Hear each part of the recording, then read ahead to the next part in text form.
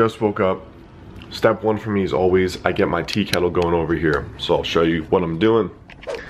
Because for me, most important thing is that I get my tea ritual going. I got my goals right on that little piece of paper. All right, I sit right here. There's the tea set. There's the view you guys always see in the videos. There's my goal board right there. So just for like the first five or 10 minutes in the morning, I sit here, I go through, review my goals, visualize them, remind myself what I'm basically working so hard for. So we're gonna go through that and then go to the next part of my day.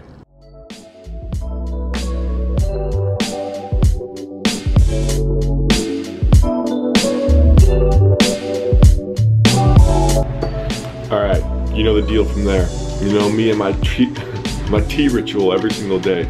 For me, I'm not doing Qigong or my morning kind of meditation because I just did three days of it on a retreat. So my body needs a little bit of a break. But next thing I do, I sit down, I've got my one thing. You guys see this?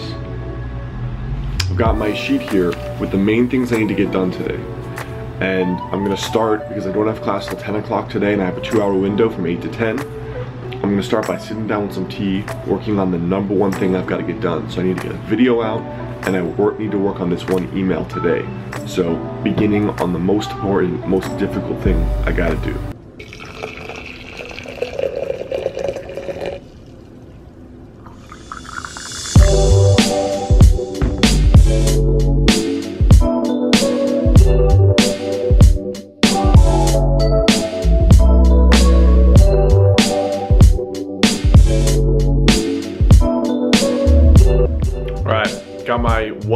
One thing done, did a 45 minute work block.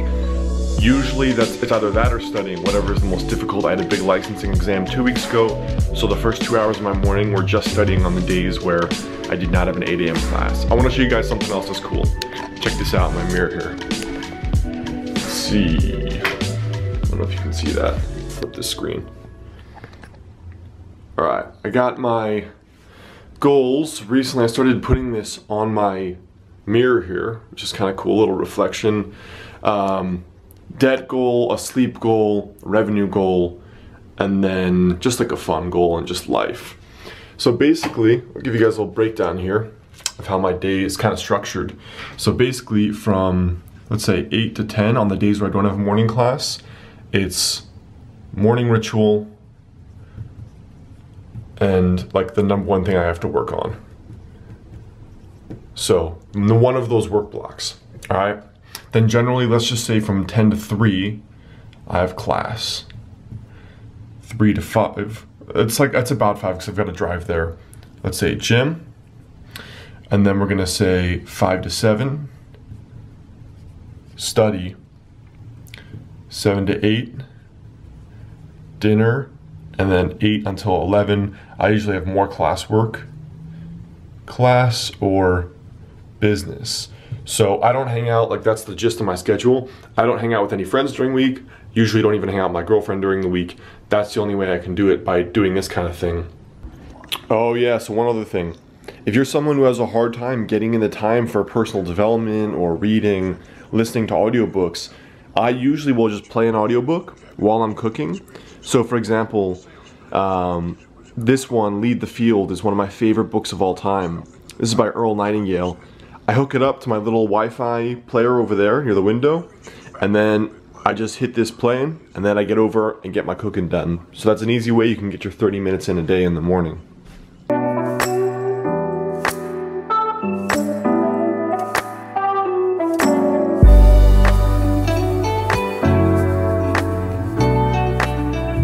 All right, just finished breakfast. For me, I mean, this does not take much preparation. It's literally like a sweet potato and then a couple eggs on top. Usually I just like to make two eggs on toast or oatmeal because it's even faster. But really quick meal to make, super tasty, full.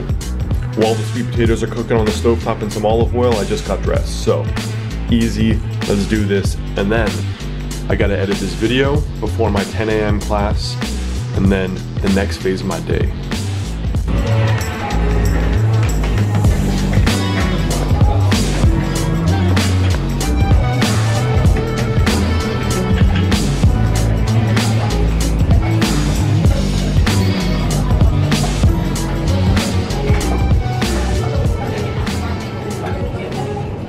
And now, time to try and relax a little bit. I mean, I'm not really. I mean, being real with you, it's uh, 9.53, 9.57. Just got off a four and a half hour shift seeing patients. Probably gonna work till about maybe 10.30 or 11. Um, there's a few business things I need to go through and I'm gonna kind of relax and do it in a very relaxed way where I'm just kind of hanging out, watching a lecture here, Chinese medicine lecture, and I'm gonna be going through just a, a few projects I'm working on in my business that don't require full attention. So I have to put together my numbers for the accountant for the new year. Uh, I'm working on a new merch project. Miscellaneous stuff doesn't require a lot of energy. I can kind of zone out. So that's what I'm working on now. All right, last 30 minutes of my night. It's 11.35 p.m. Gotta be up at 7.45. And the last part of my day is almost always quickly reviewing my goals, five minutes, and then just reading. Um, honestly, for me, reading is just one of those things that helps me decompress. And this is where I clock in that 30 minutes a night of personal development. So I'm hanging out here, got most of my lights off just to wind down. Beautiful snow falling for the first time in a long time here in Portland. I don't know if you guys can see it. Let's see. I don't know, can you see outside? Maybe not. But in any case, I'm usually spending this time. I've got, this is like the overview of the goals I'm going through here. Things I'm working on. I already have for tomorrow some of my next action steps on the inside here. This is the, the list I've done for today. And now I've been hanging out. I'm going through this book by Ryan Holiday. Pretty interesting book um, about kind of creating art and work that lasts. So I'm going to sit here with one last little cup of tea and then probably about 20 30 minutes I'll feel pretty tired. And then I'm going to lay down and begin the day again anew. Before this, I guess I'll go through this and when I'm ready to wind down, I'll create my new piece of paper for the morning. So first thing when I wake up, you'll see that and that kind of sets the tone for, you know, right when I get up, I know what I got to do.